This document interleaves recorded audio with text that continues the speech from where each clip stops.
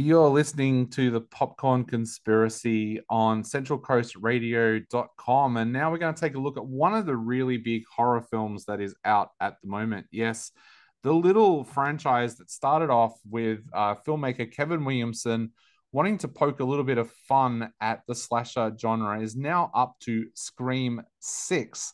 Now, this time around, it is directed by Matt Bettinelli-Olpin, who directed uh, Ready or Not, and Tyler Gillett, of course, who also directed Ready or Not with him. And this time they shake things up a little bit because they move all of the action from Woodsboro to New York. And uh, that move is made because uh, Tara Carpenter, played by Jenna Ortega, is now attending a college in New York, and she's there with her friends Mindy Meeks Martin, played by Jasmine Savoy Brown, and Chad Meeks Martin, played by Mason Gooding. But also having moved to the big city is her sister Sam, played by Melissa Barrera. Now, the latter has only moved there though because uh, she wants to follow Tara and keep an eye on her after what happened in Woodsboro. And of course, Tara doesn't really like that. She feels that Sam won't let her live her life. But in fairness, to Sam after what happened in the last film, um, you can't really blame her. And soon, Ghostface follows them to New York, and they discover this after a person is murdered in an alleyway, and Detective Bailey, played by Dermot Mulroney, soon discovers that there's a direct link between this fresh murder and the Ghostface murders of Woodsboro. Now, Kyle, what did you think of Scream Six? I'm struggling with this one, and I love the yeah. Scream franchise, but what did you think of Scream Six? Yeah, it's a thing.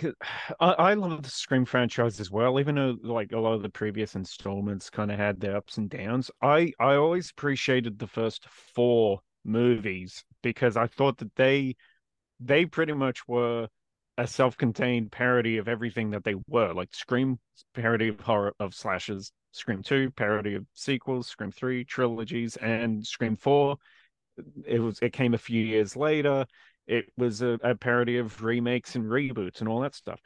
After that, I don't think that there's really anything else that the films can touch on that doesn't feel like just a retread of basic ideas. And I I felt that about the previous film, uh, which I know is just titled Scream, but uh, it's un, uh, the unofficial title, Scream Five, since this is now Scream Six.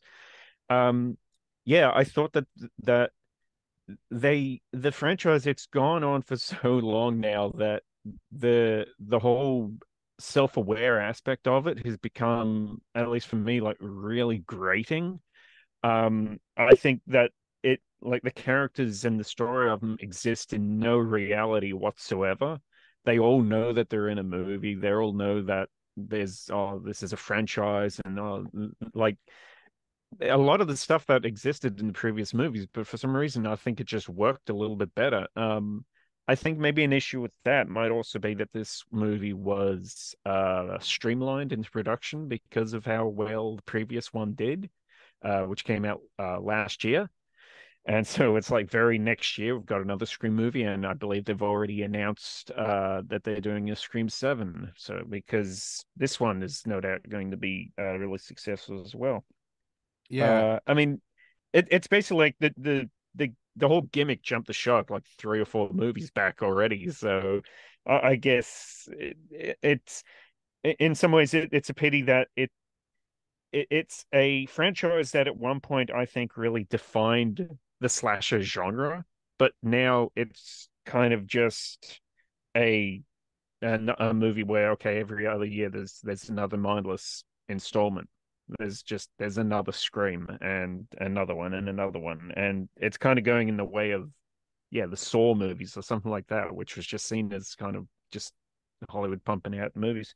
Uh, this one in particular, I again because I I enjoyed the pre the original movie so much. Uh, there's not a lot of I mean, there's not a lot of characters left from the original movies to to come back. Um, Courteney Cox makes an appearance, but very not not a very large appearance in the movie. Um, considering like a, a placement in the, in the, marketing, and I really did miss Neve Campbell in it. I just yeah, I, I feel like she's kind of a mainstay of the series, and I, I wish that uh, whatever behind the scenes dramas could have been could have been worked out better there. Uh, but otherwise, like the the actual mystery and story who who Ghostface is, I don't think that maybe again because of the uh the the streamlined nature of the film that they weren't able to really work it better into the script. I think a lot of I think it really did um it, it really did kind of shine in the mud as to what who like what was going to be the big reveal at the end. Uh so I think it's it's it's kind of one of those movies. It's just it's a fun slasher. It's it's a fun night out kind of movie, and I appreciate the fact that it's a it's it's a really gory movie in an era where not very many slashers are. Usually, the slashes that they make are now quite tame and made for pretty much made, made for uh made for uh, younger audiences even which which i appreciate that that's something that the Scream franchise has always kept. That in that way, it kind of stands apart from from its contemporaries in a way. Um, but yeah, so it, it's a fun. It's definitely it's a fun like mindless slasher movie, but yeah, it's it's it's. I don't I don't think it's it's uh it's the best in the franchise. Yeah, I I found this to be a really up and down film because I really enjoyed the the move to New York in the opening. I thought it had a really mm. creative um opening sequence. Um, I won't go too much into that because I know that's a spoiler because uh, Scream fans love that first kill. There's always something yeah. special about it. But I also love that it um, was able to open up things like um, uh, Sam and Tara having like a sister squabble about um, Sam following Tara to New York and the whole college experience. I also liked some of the sequences in here. I thought the sequence of uh, of Sam and Tara being um, uh, chased by a, a, a, ghost face in a convenience store worked really well. I thought that scene worked. Mm. I love the um the sequence as well where they're on the subway. Um, and all because it's Halloween, there's all these different people dressed up as different um horror uh, villains mm. from over mm. the years, and there's also like a ton of ghost faces on there, so they don't know if the killer is on the train with them or not. But it was little things about this film that I didn't really like. Um, one of the things that really annoyed me about this film was there's a, one character in particular, and I, I won't even give a gender because I don't want this to be a spoiler, but they get stabbed really, really horrifically in the stomach and get taken to hospital. And then later in the film, they're moving around like nothing yeah. has happened, yet it's only a few hours after that's happened. Um, they also did something really, really weird in this film um, with one of the characters as well, and it really, really annoyed me. And that was um, uh, Hayden Panettiere's character of Kirby Reed. They've got her coming back in this one as an FBI agent, but I don't know whether it's the way that they've directed her to play the part or not, but it feels like she's an adult film star playing the role. Like it's just not a believable FBI agent with the way that they've got her playing that part. And it's really disappointing because if you've seen Nashville, you know that Hayden Panettiere can act. So you wouldn't think that it was her issue. It's more what she's been directed um, to do. But the other bit that also really annoyed me, and, and this was the same in Jeepers Creepers, there was a segment in this film where it felt like everybody forgot how to act. Um, and like suddenly the acting became really B grade. Um, and like it was I, again i can't say who it was because it's a, it's a major spoiler but it felt like once the the film had started to reveal some of its big secrets a couple of actors kind of dropped off and that gave them the, the green light to become an over actor. It was just really hamming it up. Hamming yeah, it and up. it was really weird yeah. because they didn't do that for the rest of the film. It was just really, really strange that um that that seemed to happen. But the other thing I did really like was, and I was kind of worried about this because a couple of horror franchises that I've liked recently that have been ones that have been around for years have gone, oh, let's jump onto the supernatural kind of thing. Like if you saw the last Halloween film, uh, suddenly Michael Myers' powers could get passed on to somebody else, like in a supernatural yeah. kind of thing. And I was really hoping that they didn't do that with Ghostface in this film. That oh no, Ghostface is supernatural. I'm really glad that they didn't do that. That they've that they've kept it that uh, no Ghostface is human. Um, so yeah, I did like elements of this film, but there was bits that I didn't like as well. Lee, what did you think? Because I know you're a big Scream fan of the originals as, as well. Yeah, I do love the originals. Not to say that I didn't like this movie. I did like the movie, and um, you've already stolen some of my outstanding scenes. um, the convenience store and the train um, were certainly two that really stood out as um, yeah, I liked the way that they they did that, how it played out. Um, and I do like um, the actress Melissa Ber- Melissa Barrera. Barrera, yep. Um, who plays Sam in this. Um, in fact, I think she was probably the more the outstanding performance in this out of all the actors. Um, and I, you know, the the sisterly storyline, it's a good one.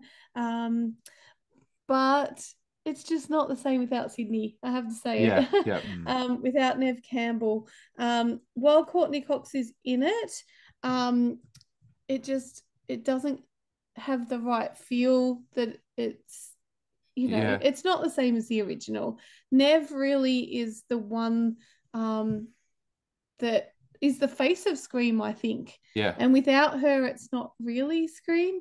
So if you think of it as not a Scream movie, but a slasher movie, a horror movie. Um, it's enjoyable. I like it.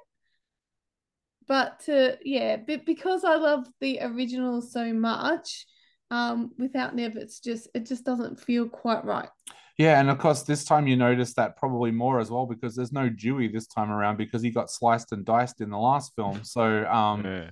yeah, so with no David Arquette and no Neve Campbell, it's probably even more noticeable. Whereas I think you probably might not have noticed Sidney's disappearance as much if um if Gail and Dewey had been together, kind of thing in New York. But uh, yeah, I actually thought that part worked quite well because one of the things I was a little bit worried about was when they were talking about setting it in New York. I was like, well, that's fine. Bringing the teenagers there are pretty easy because they're just going to college. But how do you get Gail to New York? But they actually hmm. did that quite well that she's like doing another series and now she lives in New York with um her boyfriend uh yeah don't get too attached to him people um but uh, yeah um living in New York I thought that part actually worked because sometimes that can go horribly wrong in these kinds of films where they mm-hmm. shift the thing and it's like oh so I think they did that in um uh, one of the shows that did it quite badly was Dawson's Creek when it moved to Boston and it was yeah. like um hey, I'm going to college in Boston. So am I. Yeah, so am I. it's like what of all the places, and then it was like, oh, but um, but Pacey's not going to um college. How do we get Pacey to Boston? Oh, he just happens to um to get a, work on a yacht that just happens to turn up in Boston. It's like, yeah, it was like really forced. Whereas uh, this one did that quite well. So to finish off our look at Scream here on the Popcorn Conspiracy, what are we all going to give it out of five? Starting with you, Kyle. Uh, I'm going to give it three out of five. Like I say, it's still it's an entertaining, uh, entertaining slasher film. I I got it. I, I appreciate the fact that they're still that they still make these things bloody as all hell.